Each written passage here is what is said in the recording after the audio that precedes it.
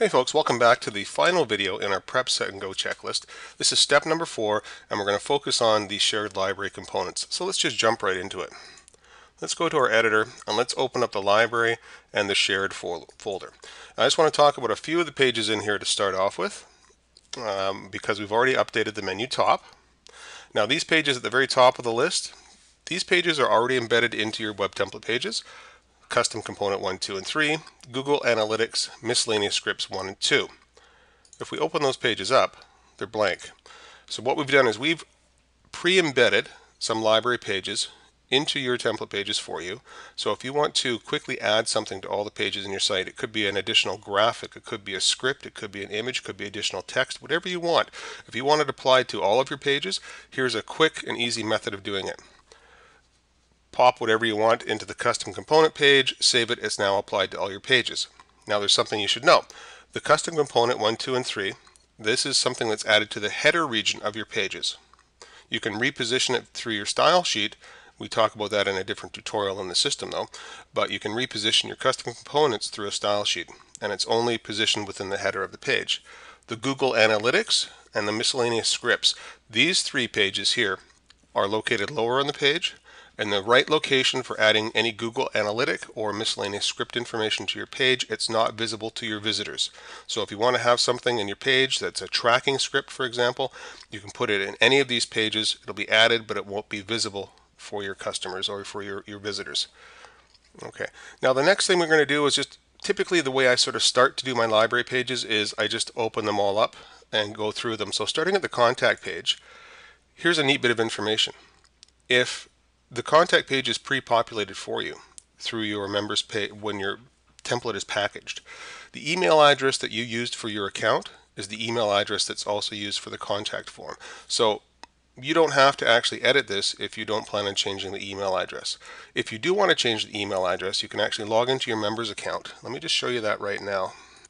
Right, when you log into your account, click on the instructions button, and that'll take us to our next page here, a product management page, and purchases. Click on Web Template, then click on Basic Form Handler, and there's some information here. Basically, you can put a new email address into this box right here, click Generate. The form is updated, and there's a video down below, lower on the page, showing you how to insert it into the page.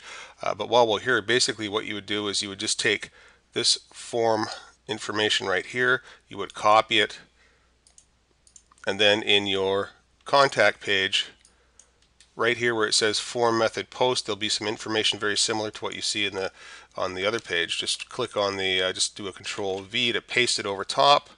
I'm just going to use my tab key to line it up a little bit and that's all you have to do to update the the uh, form is replace the existing information with the uh, new information from your account created in this form code box here. But the video down below has a much more detailed explanation. I just want to briefly touch on that uh, for you right now. Okay, so that's the contact page. Tip, now what I do next, I just sort of start with every other page, open it up, and go from there and modify the text in the page and it's very straightforward from this point on there's no magic to updating the uh, shared information because once you see it uh, in your library page it'll make a lot more sense uh, with that said, these pages can change. Your template package may be slightly different and it may include all of the library pages you see here. It may have new library pages. It may not have as many library pages. It really depends on the design and whether it was something that was included at the time or not. But either way, no matter what pages you have in here, the information will start to make a lot more sense. So let's open up the footer page, switch it into design view, and we'll see here the information that's unstyled. We did this for a reason. It's a lot easier to edit the information in a basic page like this than it is to try and do it in a pre-styled page. Right, so typically what we're going to do is we're going to preview our index page or any page that includes the particular library component. This is a great habit to get into. Preview your page. All right, we're going to scroll on down to the bottom into the footer section of the page there it is right there. And, and we can see quick links, let's get social, get in touch. Now it's just a matter of jumping back and forth between the editor.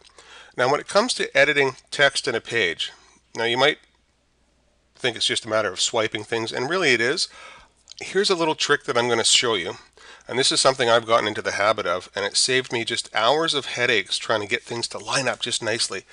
If I'm going to be editing an H3, like a title tag, I don't just swipe it over with my mouse and type in something, you know, type, you know, new sort of information here, because sometimes if I'm distracted or I fat finger something, I lose the H3 tag and it shows up as sort of nothing or none right? In other words, it, it switches over to just regular old text. And I'm like, what the heck? What happened there? It doesn't look the same, right? And then, of course, if I were to save that and preview it in my browser, suddenly it's like, oh, what, what happened there?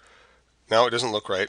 Okay, and that's of course one of the reasons why we always keep our the page we're editing open in our editor, so we can just quickly do a an undo there. Okay, but what I'll do is I will select the item that I want to change. I'll use the quick tag selector and then click that and then type in my new title. Um, our links. Actually, we're going to do for zoo links. Okay, there we go. I'm going to save the page, save the footer page, Control S, and just give it a quick preview. And there we go for zoo links. Now, the icon is gone. You see that? We have an icon here, an icon here. Okay, well, that is one of the setbacks to working in the design window and with icons, uh, with the font awesome icons. You do need to add them back in manually or you can cheat. If there is an icon, for example, let's get social. Okay, I'm going to show you a little cheat here. If you want to keep that little tweet but just change the text, do the select, right? So select your H3 tag, pick it in the quick tool selector bar up top here, then switch to code view. See this over here? Let's get social, the text in black. That's all you have to change. Um, social links. Just like that. Switch back to design view. It says so social links. You don't see the icon. When we save it, however, and preview it in our browser, there it is. It kept the little icon and it changed the text. So that's a little trick there to sort of saving the icon. The other thing you can do, of course, is just grab an icon class when you're all done and pop it in front of your text like so. So just pop that back in there. And we're going to do uh, smile. Okay. And of course, if you go to the Font Awesome website, there's over 311 different icons you can pick and choose and we cover that in greater detail in a different tutorial. So I'm just going to give you a quick brief overview of a couple of tricks you can use to um, pop it in there. Right, let's switch back. You still don't see the icon, but if we go to our thing here where we go, there we go. Now we got a little smiley beside the title. Now the rest is just straightforward. It's text, there's icons, and just regular bits of information that you can change within the page. To change any of the links, I suggest you right click on it, use the hyperlink properties, browse to your page, and change the title right here. So for zoo home, for example, and we're going to keep the index page. There we go. It's now changed to for zoo home. And I'll, I would go through and change the rest of these to match up with the uh, pages that I have in my nav bar and in my storyboard. I'm not going, going to include all of them, just the major pages. So if somebody's at the bottom and, and whatnot, they can find it. Um, social links, this is just a little bit of information in here that we sort of put more as a advertising bit of information. And your footer may or may not have this. It could be a completely different arrangement in the footer. The idea here is just going through, selecting the paragraph, and this is a new paragraph of text. We'll just uh, correct that. And then there's your icons right here. And to, to update the icons, it's just a matter of double clicking on them. There's the hyperlink right there. Type in your account. Okay, whatever your Facebook page is, just put the link in here. That's all you have to do. If you don't want that particular icon, just click, go up to the, uh, see the image tag, then go to the A tag, like so, and then press delete on your keyboard. And just continue on with the rest of the icons right there. And you can also go and add new icons um, as well. Yeah. Now if you're going to add new icons, we do have a chapter in the tutorial section that talks about working with the social icons, how to copy and paste, how to preview them, that sort of thing. So go through the uh, main tutorial index and just look for the chapter on working with social icons. It'll give you a lot more detail. Okay, and then finally we have the get in touch. And then we're just going to adjust the information here. For the email address, when you right click and use the hyperlink properties, and you're not going to see this in the video, but I'm clicking the hyperlink properties, it should automatically select the email address box because we use the mail to in here. So just sort of scrub over that and change the email address to your own email address. You can also fill in a subject and I recently used if you want to, but uh, that's a little bit beyond what we're going to cover right here. And then of course the copyright, which we've already updated in the very first. Okay, so really that's all there is for the footer. Right? The Google search, in here we have some code provided by Google, and I have a video in a separate section covering this because it takes a little bit more detail to go through the Google search. But in a nutshell, once you've created your Google account and you've created a your own search bar, you just need to replace the code right here that's the identification key. You replace that with your own identification key. And then it'll actually pull up the results from your website, your domain only. The graphic logo, that's the one you see in the page, and your template may or may not have a graphic logo. If it does, great. If not, you can add one. And then you can position it uh, directly through the um, styles.css. Now, as you noticed in the uh, tutorial page, there's actually separate links to each of the uh, different components, such as the graphic logo and the and the phone and whatnot. Uh, so, if you want to learn it in more detail, this is just a brief overview of what to do. You can go into the graphic logo page, drag your new logo on here and position it, or if you need to reposition it. Uh, if you need more detail, just click on the link. It'll take you right to the actual tutorial that goes through modifying those different, uh, these specific components, I should say. And finally, we have the phone. That's just a straight phone number there. Okay, uh, just update the phone number and it'll be updated across every uh, aspect of your site. Now for this one here, I'm going to suggest you actually switch to code view. And I'm going to suggest that you change the number right here in black. That way you don't remove the icon because the icon is kind of cool with the phone. And there's no use, and because it's a phone number, you're not going to use a different icon. So just switch it right here, save it to update. Right. Then there's our social networking icons right here. Right. Like I said, the quick and easy thing if you want to keep them all is just to double click, enter your actual uh, web page address right here for your Google account or your Google page uh, in this example, and then click OK. And to remove it, of course, click on it, find the image tag, then the A tag beside it, and press delete. Now your tag tagline, that's your primary tagline. And we'll just go back to our page here. That's the primary tagline right there. And then we have the website name. So those two can almost go hand in hand. I suggest updating the website name and the primary tagline together. So that way when you save it, and we're going to do this right now, we're going to select that H3 tag, type in Frisoo Golf. Just like that, we're going to save it. Then we're going to do the tagline and golf for the guys. And we're going to save that as well because we can refresh and make sure that everything lines up together because they sort of go hand in hand. We've got the website name and then we have the, the tagline that goes below it. And of course you don't want it. If you don't want it, I should say you just select it and press delete on the page and it's toast. So that's an easy one right there.